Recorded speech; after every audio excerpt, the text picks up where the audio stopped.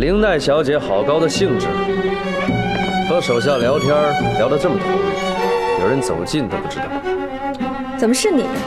你怎么知道这儿的？警署再不济，花三个小时找一辆福特车，还是办得到的。你找我做什么？那林奈小姐打算怎么处理琉璃子？哼，原来你还是放不下琉璃子。他背着你跟纳兰东勾勾搭搭，甚至什么坏事都做尽了。你还在意这种女人做什么？我不是在意她，而是 别动！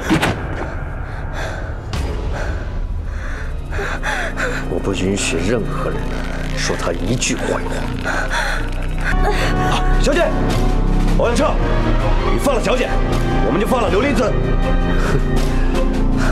生命被别人掌控在手里的滋味怎么样？应该很恐惧吧？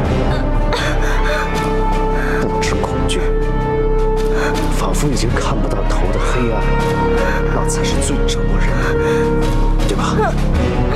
现在你该明白了，是谁在掌控所有的事。